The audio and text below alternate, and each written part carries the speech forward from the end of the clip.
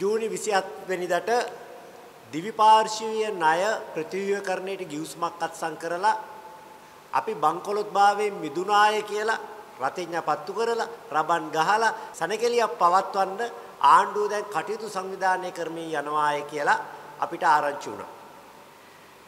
ඇත්තෙන්ම ද්විපාර්ශ්වික ණය කියන්නේ සමස්ත විදේශ ණය වලින් ඉතා කුඩා කොටසක් විතරයි. ඉතින් මේ විදේශ ණය වලින් කුඩා කොටසක් වන ද්විපාර්ශ්වීය ණය ගෙවන ක්‍රමයක් හදාගත්තාය කියන එකෙන් අපි බංකොලොත් භවෙන් මිදුනාය කියලා ආණ්ඩුව ජනතාවට ඒත්තු ගන්නවන්න හදන එක පට්ටපල් බොරුවක් කියන එක ඊටාම් වක්කීමෙන් අපි සටහන් කරනවා. IMF ගිවිසුමට අනුව 2022 වසර අවසන් වෙන විට ආණ්ඩුවේ සමස්ත විදේශ ණය ප්‍රමාණය ඩොලර් බිලියන 42ක්. මෙන්න මේව ගෙවා ගන්න බැරි වීමෙන් තමයි රට බංකොලොත් භාවයට ප්‍රකාශයට පත් කරේ. අපේ විදේශ ණය ප්‍රධාන වශයෙන් කොටස් තුනක් තියෙනවා. පළවෙනි කොටස බහුපාර්ශ්වීය ණය.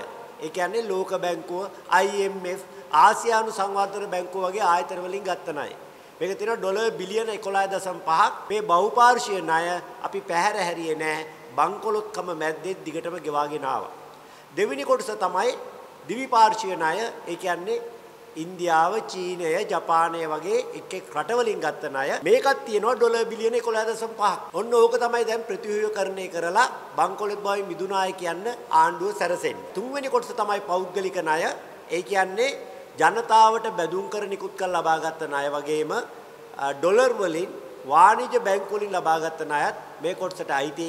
එතන තියෙනවා ඩොලර් බිලියන 17.6ක්. එහෙනම් අපේ සමස්ත විදේශීය ණය වලින් ලොකුම කුට්ටිය තියෙන්නේ පෞද්ගලික ණය මිසක් දිවිපාර්ශ්වීය ණය නෙවෙයි. ඇත්තම කියනවා නම් දිවිපාර්ශ්වීය ණය හිමියන් සමග ආණ්ඩුව සාකච්ඡා කරලා ප්‍රතිව්‍යුහකරණය පිළිබඳ එකඟතාවය ඇති කරගත්තේ දැන් මාස 3කට විතර කලින්.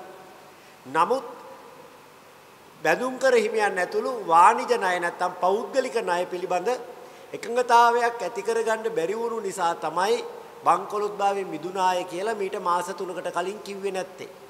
දැන් බංකොලොත්භාවයට පත් වෙලා වසර දෙකමාරක් යනතුරුත් ණය ප්‍රතිව්‍යුහකරණයට අසමත් වුණු එකම රට ලංකාව නිසා ඡන්දයක් ළඟ ළඟ එන නිසා ආණ්ඩුව දැන් තීරණය කරලා තියෙනවා තාමත් වැඩේ කරගන්න බැරි වුණු පෞද්ගලික ණය කුට්ටිය පැත්තකින් තියලා මාස 3කට කලින් එකගතාවය හදාගත්ත ද්විපාර්ශ්වීය ණය ගිවිසුම අත්සන් කරන වෙලාවේ මෙන්න අපි බංකොලොත් බවින් මිදුනාය කියලා බොරුවක් කියලා රටේ ජනතාව රවට්ටන්න. ඒ නිසා අපි ආණ්ඩුවට අභියෝග කරනවා ඇත්තටම අපි බංකොලොත් භාවයෙන් මිදුනා නම් පෞද්ගලික ණය හිමියන් සමග ඇති කරගත්ත එකඟතාවය රට ඉදිරියේ තබන්න කියන අභියෝගය අපි ආණ්ඩුවට ඉදිරිපත් කරනවා.